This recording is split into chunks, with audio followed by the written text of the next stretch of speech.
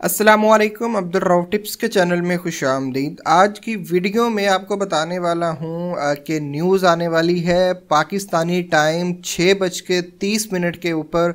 High impact की news है। और एक जो न्यूज़ है वो आठ बजे के करीब है। तो साढ़े छः बजे के करीब है कैनेडियन की और आठ बजे के करीब है यू एस डी की। तो इस पर काफ़ी ज़्यादा जो है वो मूवमेंट हो सकती है। जैसा कि आप जानते हैं कि आज फ्राइडे है, एक तो वीकेंड है, वो क्लोज़ होने वाला है मार्केट आज क्लोज़ हो जाएगी। तो मार्केट जो है वो वीकली बेसिस के ऊपर टारगेट करेगी अपने स्पोर्ट और रजिस्टेंस को, जो एवरेज या हाई या लो लगाए होंगे। तो वो ना डेली बेसिस के वीकली बेसिस के ऊपर वो टारगेट करेगी।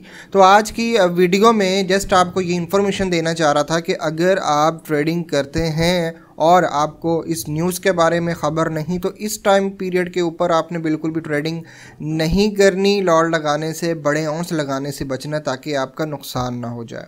और प्रीवियस वीडियो जैसा कि एक सिलसिला स्टार्ट था और जिस तरह के मैंने एक इंडिकेटर आपको बताया था और अपना प्रॉफिट जो है वो कल जो है मैंने आज रात दो बजे करीब मैंने आपको अपना प्रॉफिट जो है वो शेयर किया था और मुझे कहा जा रहा है कॉपी ट्रेडिंग के हवाले से तो इन वो भी करते हैं ग्रुप भी बनाते हैं, हर चीज़ करेंगे।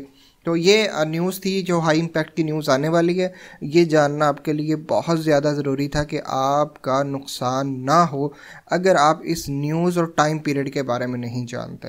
तो उम्मीद करता हूँ कि आज की वीडियो इन्फॉर्मेशन के हवाले से आपको पसंद आई होगी और इस टाइम जोन के अंदर आप लॉड लगाने से परहेज़ करेंगे।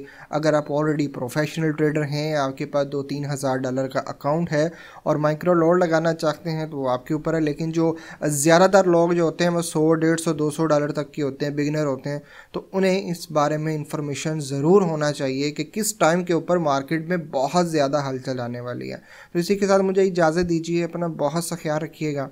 अब्दुल रऊफ़ टिप्स के चैनल को सब्सक्राइब करना बिल्कुल भी ना भूलिएगा। अल्लाह हाफिज़।